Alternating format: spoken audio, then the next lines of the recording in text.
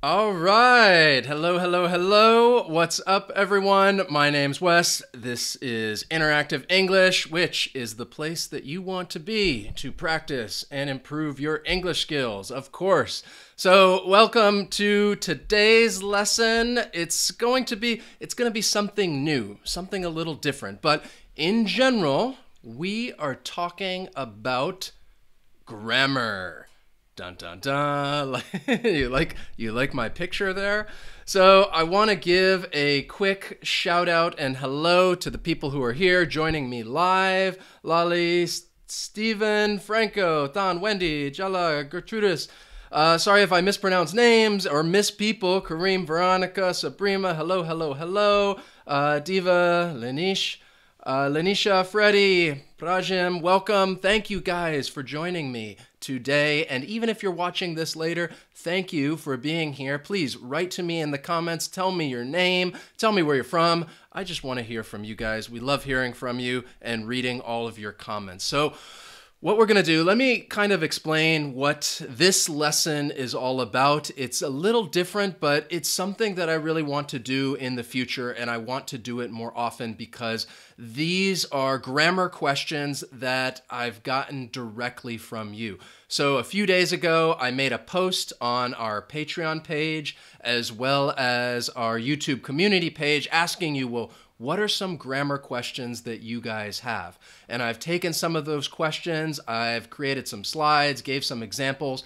And, and that's what this lesson is all about. So I've taken some of your questions that you guys have asked, and we're going to go through those today. And I'm going to give you some brief explanations because when it comes to grammar, there there is a lot that you can talk about. So this is kind of just a quick overview. But again, this is something I want to do in the future and, and ask you guys questions and see what questions you have when it comes to pronunciation, vocabulary, and then we can go through and, and do these live lessons and answer those questions. So this is kind of a test run, a trial run. So let's just jump into it. If you have some other questions in the chat, write them down as long as they're very specific, and I'll see if I can get to them. But today, I want to focus on some of these questions. So, our first question comes from a patron, and that is from Catherine. Thank you, Catherine. Um, she said she unfortunately she won't be able to attend today's live lesson. That is okay because it's going to be posted on our channel. But interesting, eh, she's interested in getting some clarifications regarding time concordance, especially for the future. Um, so I, I followed up with her to see a little more specifics and she she's mostly interested in about future time clauses. Now, we do have another lesson on future time clauses which I will link up above if you guys want to check that out, but I kind of want to talk to you a little bit about just the general rules um, when we use future time clauses and how we use them. So, of course, when, when we're talking about future time clauses, it's we're, we're referring to it's a statement referring to an event, something that's happening in the future. And the statement is going to be made up of an independent clause and a dependent clause. Now, that dependent clause, that's that's the future time clause um, right there, and it's introduced by a conjunction. So the one thing I want you to know, the one important thing is that sentences, you know, it can be an independent clause. An independent clause is going to have a subject and a verb. That verb, the verb in the independent clause, that is your main verb. That is going to determine when the action is taking place. If it's the past, the present, the future, that main verb in the independent clause, that is, you know, what's going to determine the time. So in that independent clause, that is when you use the future tense. In the dependent clause, that's introduced by the conjunction, after, before, when, while. Um, uh, what other ones? There's there's quite a few of them. We're going to use the present simple. Okay, so look at those example sentences. Boom, right there. After we eat dinner, dependent clause, present simple. The show is going to begin. That is our main independent clause. So going to again that is my main verb and again it's it's telling us the future is going to begin. Be going to. We use be going to or will when we're referring to the future. So the show is going to begin. That is our independent clause. That is you know that's what's really showing the time. What's get confusing and we've had so many students ask us before they want to say they want to use the future tense in the dependent in the dependent clause and say after we will eat dinner and when we're doing this, the rule is again, dependent clause, present simple, independent clause, that's your future. All right. So, for example, here's another one giving you guys some hints here. These, these lessons are very suggestive. All right. When the lesson ends, I'll hit the like button. All right. When the lesson ends, again, present simple, I will hit the like button. That, that shows the future. So, right now, I want you guys practice write a sentence using a future time clause. All right? Remember, have a dependent clause, use the present simple, and the independent clause, you will use the future. You can use will, you can use be going to, but let's get some sentences up here. This is what we want you guys to do. We want you to interact with us. This is interactive English. And and even if you're watching this later, you probably you see the chat on the side. It's great to see sentences that that people have to say and you can see, you know, it's a lot of different examples. So again, in the chat, write us a sentence using a future time clause, all right? You can use after, before, while, and then use that future tense, all right? So again, this is from Catherine. She's a patron. Uh, again, we, we try to give priority to our, our patrons, our super students. And if you guys are interested, all right, in becoming a patron, you can check us out on Patreon. Links are in the description it's just another good way to to connect with us, to interact with us. And and this is what we'll end up doing when we do lessons like this and ask questions. We we will give them priority. Um, so yes, when the lesson ends, I will have hit the. All right. Yes, you can use it uh, with that as well with the future perfect. Excellent example. So again, if you're just joining us, we're talking about the, we're just answering diff- difficult grammar questions, questions that you guys had. We asked those questions. I've taken them and I've put them together in this lesson, which we're going through right now. Um, after watching your video, I will summarize the key points. Excellent, great. Um, great future time clause, and that is just good practice, all right? Good practice summarizing lessons uh, reviewing content is a great way to learn. So, another question that we had is this, and this was this is a common one. It's one that we get quite often. All right. And that is so Manya asks, like, I find prepositions extremely confusing. Hope you'll explain it. Um, Raki also said, prepositions. All right. We need help with prepositions. And you are not alone. This is one of the most difficult things um, when it comes to I'd say really perfecting your English because there are rules and you can learn prepositions. It's easy to follow those rules. But oftentimes people make little simple mistakes because these are those tiny little function words that are easy to forget. Now, when you make these mistakes, most people you know, even if they notice them, they will still understand what you're saying, okay? Sometimes it can cause confusion, but again, don't don't stress out about it. Don't worry about it. This is really uh, a, definitely a more advanced form of really perfecting your English. But I want I'm, I'm not going to go through every single rule when it comes to preposition. I just want to show you some some highlights here and let you know. So these are the top five these are the most common prepositions in the English language. So when you're listening to a TV show or movie, when you are reading a book, these five prepositions are the ones that you will come across the most of, in, to, for, with. Those are the top five. Most of you are familiar with prepositions because, again, we learn them and the types of prepositions. That is how, that's often how we learn them when we are starting to learn English. When you are a beginner, you might learn prepositions of time. For example, and, and people learn to say in the morning, in the evening, in the afternoon preposition of time or a preposition of place. We can learn those or prepositions when it comes to direction. So when you're learning English and studying, often they might prepositions might be grouped into those categories of time, place, direction. But again, prepositions, we find them after verbs, we find them after adjectives.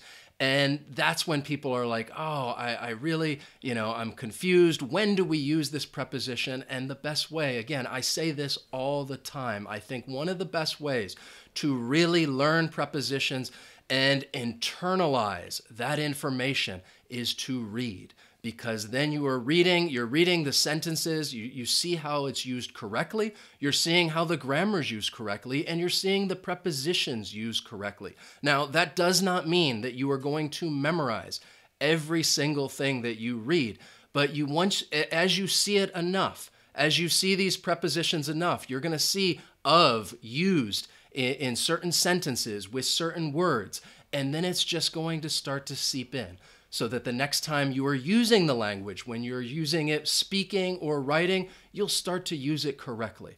So when, when it comes to studying prepositions, I think, especially as a beginner or intermediate, um, even as an advanced, it's good to review the different types and, and learn prepositions when it comes to time or place or direction.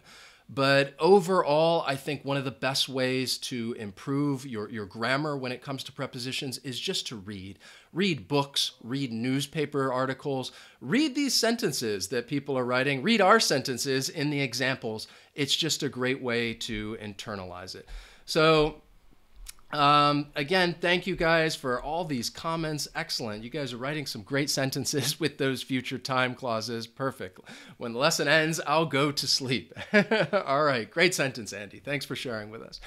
So, uh, again, prepositions, they're always going to be tricky. They, they will always be challenging. In the future, we are going to do some lessons specifically about certain prepositions. And what we'll do is probably put them in those categories and talk about prepositions of time and go over all the different ones from the easy ones to the more advanced ones, the prepositions of place.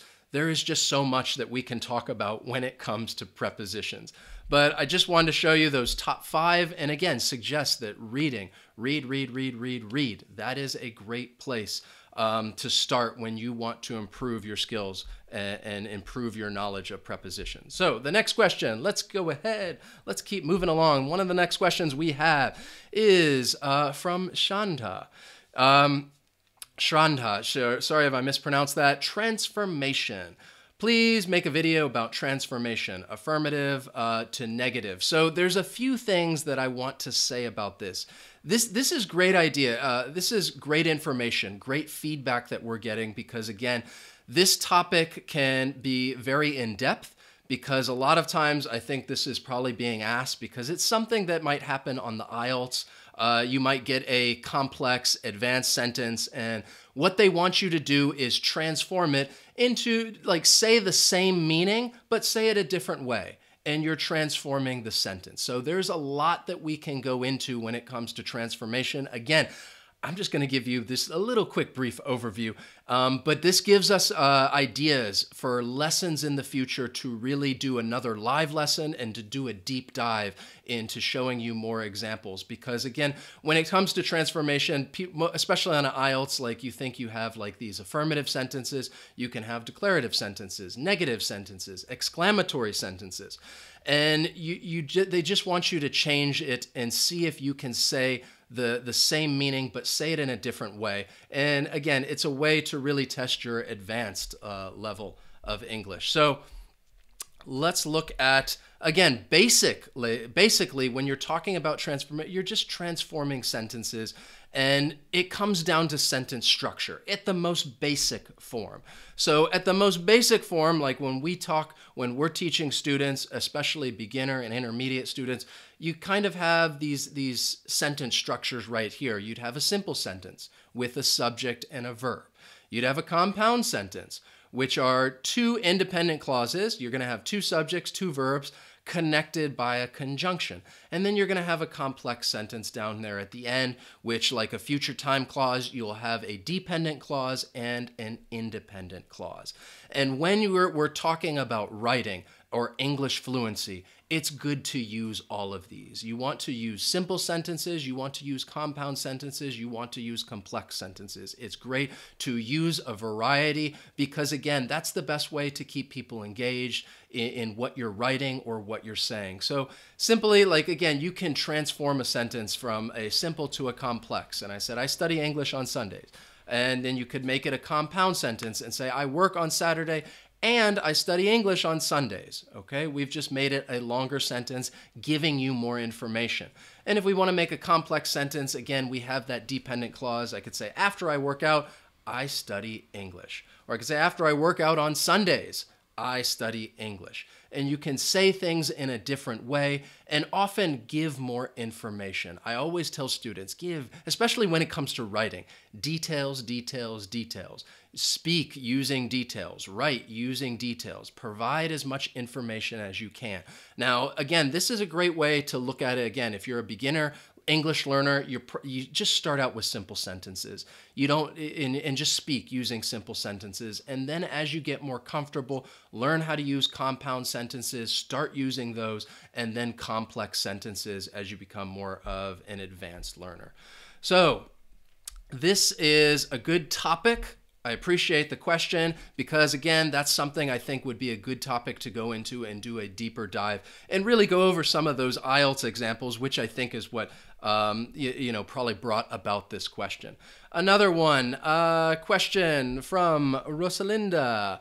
All right, she has a lot of questions, but the most important have problems with the perfect tenses. I'm guessing the present perfect and the past perfect. Um, also, uh, Julia asked a similar question. That's why I put it up there. Uh, I have a lot of questions in my head, but the most difficult is when to use have in a sentence. And I included this one because we use have often when you're talking when you're talking about perfect tenses, the present perfect and the past perfect. We also we did lessons on this before, and I will link those again. We have a lesson on the present perfect, we have a lesson on the past perfect. If you have not seen those, please check those out because we give a lot more detailed information as well as some examples. But just simply put, we use the present perfect. We're, it's, it's talking about something in the past, but it's kind of linking the present with the past because you're having that conversation now. And I'd say, yeah, I have, I have traveled to Thailand. I'm having a conversation with you guys and I'm talking like, oh, yeah, yeah, yeah, I've traveled to Thailand. I've been there. Now, this is an unspecified time. And we do use present perfect when talking about speci- unspecified time. Now, if I gave a specific time, for example, I said last year, then that time indicator, that would tell me to use the past tense. And I'd say, oh, I traveled to Thailand last year. But when we're talking about unspecified time, just as an example, we would use the present perfect. Um, past perfect, okay, for this one, you are talking again about in the past, but you're talking about two events, all right? And you're linking those events. You're linking one event in the past with another event in the past. So look at my example sentence right here. Again, this is a complex sentence. We have a dependent clause with an independent clause. So by the time they arrived, by the time they arrived, that's my dependent clause. In this case, in that dependent clause, you are just using the past simple. Like I said, the independent clause, that is really going to be your, your time uh, indicator right there. That's where you're going to use the past perfect. This is another example where students might, they want to use the past perfect in the dependent clause. And no, it is just the simple past. But we use the, the past perfect in the independent clause, we had already eaten. So by the time they arrived in the past, all right, they arrived in the past, we had already eaten, also in the past. All right. It happened before they arrived. So we're talking about these two events, and one happened before the other. We we had already eaten. It happened before. We we ate before they arrived. That's basically the meaning of this sentence. So that's a quick little overview about the present tense, the, the perfect tenses. Again, please, please, please check out those lessons uh, that we already did to find more examples and to get a lot more information. So, excellent. All right, moving right along. Let's look. Um, kind of trying to check out the comments, seeing what's going on. Um, this was another one from Khan. He said, Sir, please teach us uh, about uh, used to and causative verbs. Actually, used to, I want to do another lesson on used to, just about used to, so I'm saving that one. But causative verbs, the reason I this caught my attention is because somebody asked us about this not too long ago, and maybe we'll make another video just dedicated to causative verbs. But if you don't know what causative verbs are, it is a verb used to indicate that some person or thing makes something happen. So there's a common list of causative verbs make, cause, allow, help, let, have, keep, require. And when we use these causative verbs, you're basically this this is not how it is for all of them, but this is kind of a general format, a general structure when we're making these sentences. You'd have a causative verb, you say the person or the thing, and then you're just using that base verb. Okay? So for example, made, make. Let's start with that one. And my, my sentence right here. My boss made me work late. All right. Made is a causative verb. You see that for formula. My boss, that's the subject. Made, a causative verb. Me would be the person. Work is just the base verb. Work late. So it's kind of it's a simple sentence. All right. I think it's easy to understand.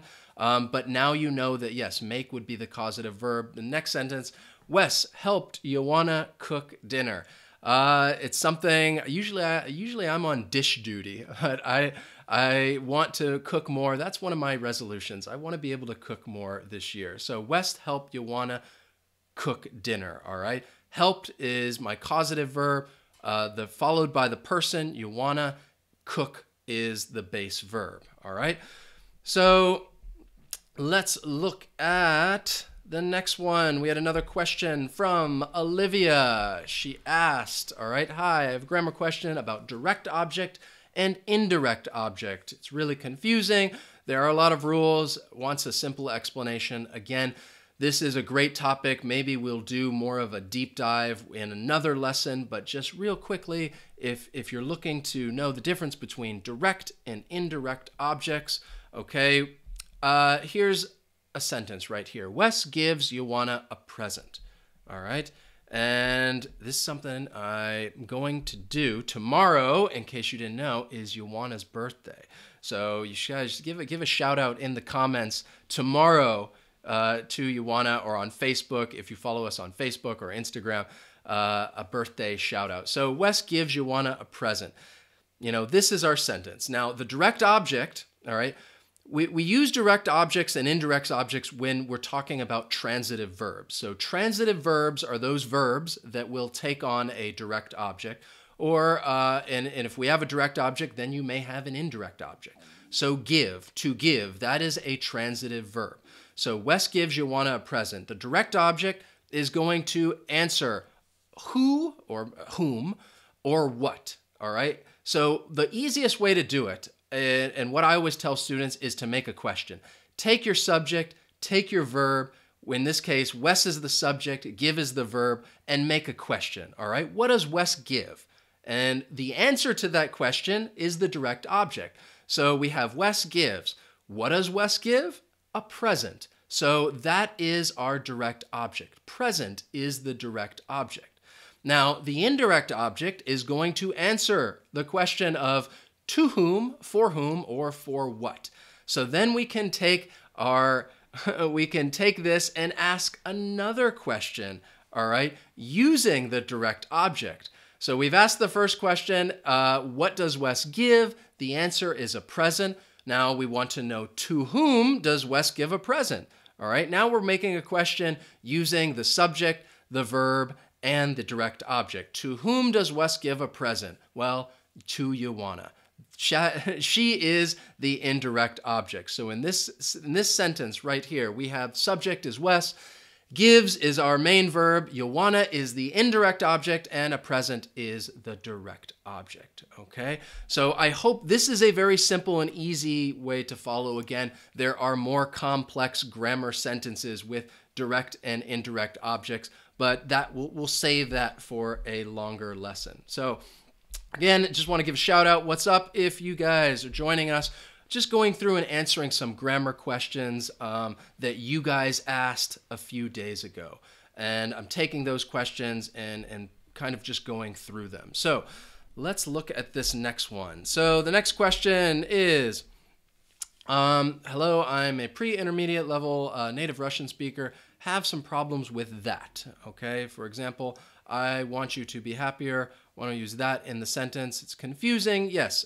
All right when and where to use that again this is uh, it's not a, a very simple answer it could be long detailed but i wanted to quickly talk to you about the that clause okay so oftentimes that is probably one of the most overused words in english when speaking and even when writing uh, i once had a writing instructor in university told me he said when you're done with your writing go through your paper and just eliminate all like most of the time where you write that just get rid of it all right? It's it's unnecessary. We overuse it.